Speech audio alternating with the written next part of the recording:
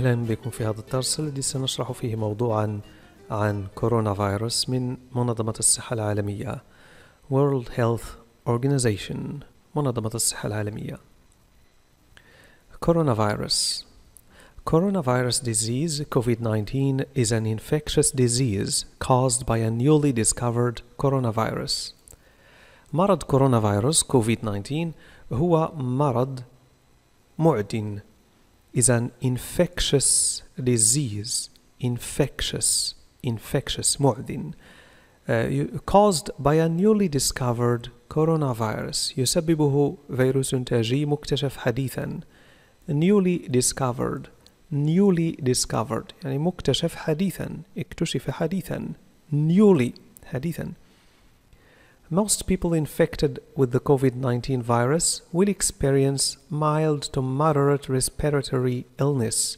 and recover without requiring special treatment. معظم الناس المصابين بكوفيد 19 فيروس بفيروس كوفيد 19 سيعانون سيعانون من أعراض تنفسية خفيفة إلى متوسطة وسيشفون دون الحاجة إلى علاج خاص. Most people, most people معظم الناس infected, infected with المصابون ب COVID-19 virus will experience يعني سيختبرون أو سيعانون من mild to moderate respiratory illness من مرض تنفسي متوسط إلى خفيف يعني من خفيف إلى متوسط mild mild mild خفيف ليس مرضا خطيرا moderate moderate متوسط ليس خطيرا جدا respiratory تنفسي respiratory respiratory illness and recover without requiring special treatment وسيشفون دون الحاجة إلى علاج خاص without requiring special treatment treatment هو العلاج recover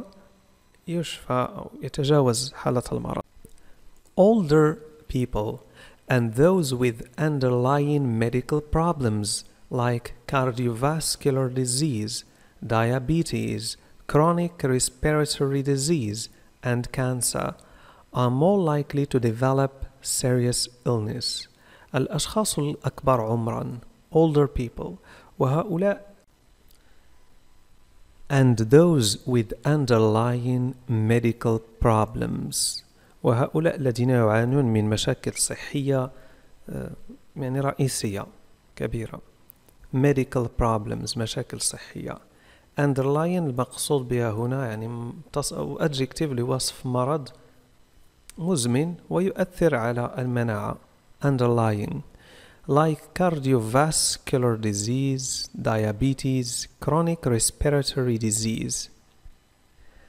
مثل مرض القلب والأوعية الدموية cardiovascular القلب والأوعية الدموية لأن كارديو تعني قلب vascular له علاقة بالأوعية الدموية.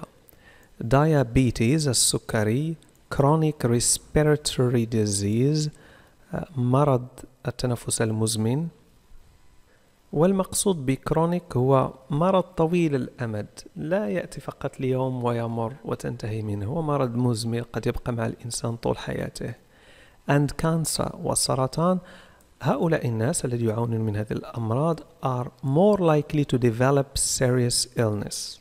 لديهم احتمالية أكبر لتطوير مرض أكثر خطورة يعني كوفيد أكثر خطورة are more likely أكثر احتمالية are more likely to develop serious illness serious illness مرض خطير the best way to prevent and slow down transmission is to be well informed about the COVID-19 virus, the disease it causes and how it spreads. أفضل طريقة لمنع وإبطاء نقل المرض انتقال المرض هو أن تكون على دراية جيدة بفيروس كوفيد-19 وبالمرض الذي يسببه وكيف ينتشر. The best way, the best way, أفضل طريقة to prevent لمنع and to slow down ولإبطاء and to slow down transmission الانتقال انتقال المرض is to be well informed is to be well informed هو أن تكون على اطلاع جيد أو دراية دراية جيدة فinformed جاءت من information المعلومات يعني أن تكون لديك المعلومات about the COVID-19 virus بخصوص فيروس COVID-19 the disease it causes المرض الذي يسبب the disease it causes and how it spreads وكيف ينتشر and how it spreads uh, protect yourself and others from infection by washing your hands or using an alcohol-based rub frequently and not touching your face احمي نفسك واحمي الآخرين من العدوى protect yourself and others from infection من خلال أو بغسل يديك by washing your hands by washing your hands أو باستخدام مطهر الكحول فيه كحول an alcohol based rub فالرب تعني يفرك أو يحك. لكن تستخدم كذلك بمعنى مادة تستخدمها لحك أو تطهير يديك. using using using لاحظ النطق. using باستخدام أو استخدام.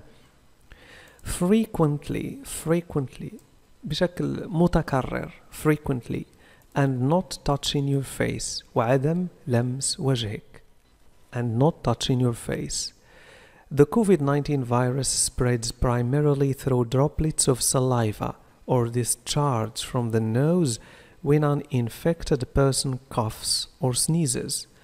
So, it's important that you also practice respiratory etiquette, for example, by coughing into a flexed elbow. ينتقل فيروس كوفيد بشكل رئيسي عبر قطرات اللعاب.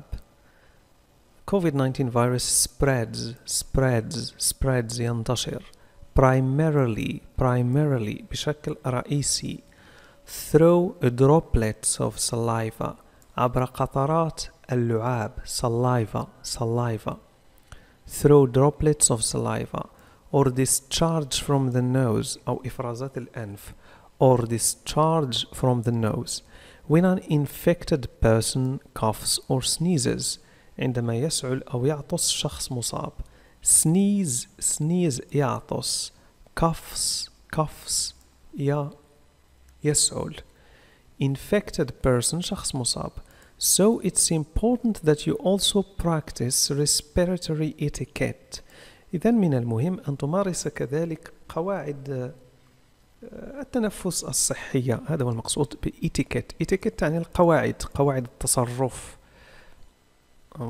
قواعد السلوك المهذب. Respiratory يعني هذه القواعد المتعلقة بالتنفس. For example, for example على سبيل المثال by coughing into a flexed elbow. من خلال السعال في كوع مطوي يعني أن تطوي كوعك. Flexed flexed تعني مطوي. فلننظر إلى الصورة. هذا هو flexed elbow. كما نلاحظ في هذه الصورة. Flexed elbow. By cuffing into a flexed elbow. Elbow هو الكوع. شكرا لكم على المتابعة وإلى اللقاء. سننشر المزيد من المواضيع حول كوفيد 19 أو كورونا فيروس. وهذا المقال الذي شرحته الآن ستجدونه تحت الفيديو. إلى اللقاء.